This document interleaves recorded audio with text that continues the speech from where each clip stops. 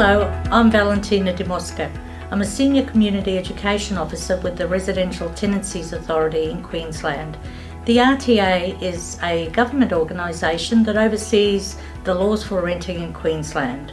Whether you live in, own, or manage a rental property, you have rights and responsibilities. The RTA is there to assist you to, to better understand those rights and responsibilities and to assist in resolving disputes when and if they arise. Today, I'm joined by Jade Roberts, who, who will discuss in more detail how the RTA can be of assistance. Hi, Jade, and welcome. Hi, Valentina. Jade, what are the specific services that the RTA offers? The RTA offers both the Client Contact Centre and also the Dispute Resolution Department. And how can people access the Client Contact Centre? Uh, that for the cost of a local phone call, anyone in Queensland can call up and we can offer an information service over the phone. Uh, we also offer email inquiries um, and assist at outreach events.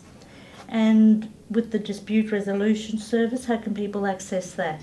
Uh, so by submitting a dispute resolution request form, a form number 16, uh, they can submit that online uh, by fax or by mail uh, and we can set up that service for them. Jade, who can access these services? Uh, so with the Client Contact Centre, basically anyone can call up and we can offer them information based on their inquiry. If that information is specific to a bond record, that's where we may require a letter of authority to give them that information on the other person's behalf. Uh, the dispute resolution service is generally done between people listed on a tenancy Mhm. agreement. Uh, however, if someone is requiring a support person to act on their behalf, uh, we can we can offer that as long as there's consent from the other party and a letter of authority is obtained.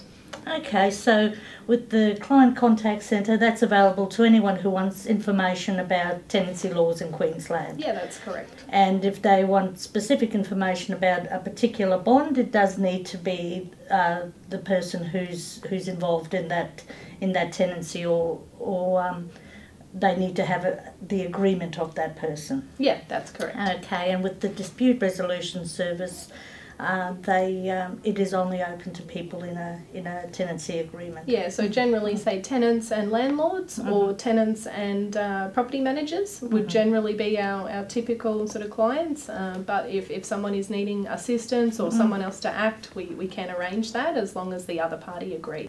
What if someone has trouble explaining themselves or or understanding the information they're being given? Uh, so the RTA has access to the translating and interpreting service. Uh, we can access that uh, for our clients for free. Uh, so if they're having any sort of difficulty uh, with with language, uh, then we would use that that service to assist them further. So with the contact centre, we do have some specialised client service officers that do have the capacity to spend a little bit more time with that person. Uh, so working through self resolution strategies, um, just spending that extra bit of time with them to make sure they are understanding everything correctly.